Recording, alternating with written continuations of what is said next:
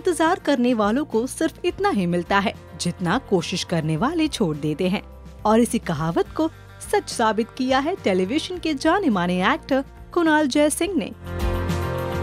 जो एक्टर तो काफ़ी फ़ेमस है, पर उनके ज़िंदगी के कुछ ऐसे किस्से कहानियों के बारे में कोई नहीं जानता। और हमारी इस खास पेशकश में हम लेके आए हैं कुणाल के ज़िंदगी की कुछ अनकही कहानियाँ।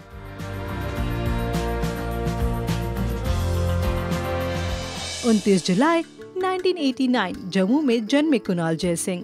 वैसे तो काफ़ी शांत मिजाज के हैं, बचपन से ही वो अपने करियर को लेकर काफ़ी फोकस थे।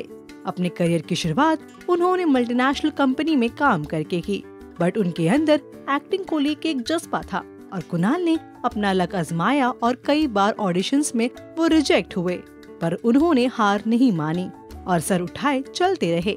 फिर कुणाल साल 2012 में चैनल वी इंडिया पर प्रसारित द बड़ी प्रोजेक्ट में उन्होंने रणवीर शेरगिल का किरदार निभाया। इसके बाद कुणाल यह आशिकी, प्यार तूने क्या किया, सावधान इंडिया, डोली अरमानों की। वैसे तो यूथ ऑडियंस में कुणाल की काफ़ी लंबी फ़ैन फॉलोइंग थी, पर उनके करियर का टर्निंग पॉइंट रहा स्टार प्लस का सुपरहिट शो इश्कबाज, जिसमें वो ओमकारा का किरदार निभा रहे थे।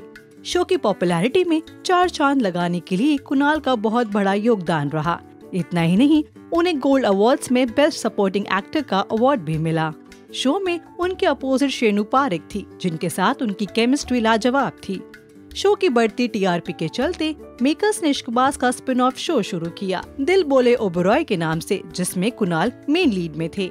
कुणाल के लुक्स के साथ साथ शो में उनके शेर व शायरी भी लोगों को काफ़ी पसंद आ रही थी। उसके बाद कुणाल नज़र आए सिलसिला बदलते रिश्तों का सीज़न टू में, जिसमें उनके अपोजिट थी अनिरी वजानी और तेजस्वी प्रकाश। तीनों के बीच का लव ट्रायंगल शो की यूएसपी रही और कुणाल और तेजस्वी का रोमांस भी लोगों को भरपूर पसंद आया। और अब कुणाल की लव लाइफ की बात करते हैं। वो एकदम क्रिस्टल क्लियर है, Bharti Kumar.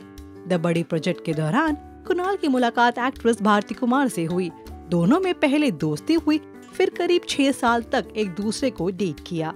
अपने रिश्ते को पहली बार दोनों ने 2012 में एक्सेप्ट किया था। दोनों को कई बार साथ देखा गया था। अपने इंस्टाग्राम अकाउंट पर कुणाल आए दिन भारती के साथ फ़ोटो अपलोड करते रहते हैं। और 20 दिसंबर 2018 को कुणाल और भारती शादी के बंधन में बन गए।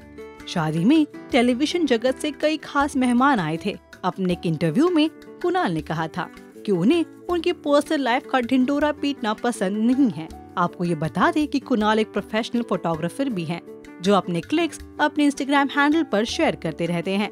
फ़ोटो फकीर नाम का एक पेज है जिस पर कुणाल अपने खींची हुई फ़ोटोज़ अपलोड करते हैं। और एक बार फिर कुणाल कलर चैनल के शो में अपनी एक्टिंग का धमाल करते हुए नज़र आ रहे हैं। शो में उनके अपोजिट है अनिरी वजानी। तो हम उम्मीद करते हैं कि कुणाल के बाकी शोज़ की तरह इस शो को भी कामयाबी मिले। तो कैसी लगी आपको कुणाल के ज़िंदगी की ये कहानी? बताइए हमें कमेंट सेक्शन में। तब तक स्टे ट्यून विद अस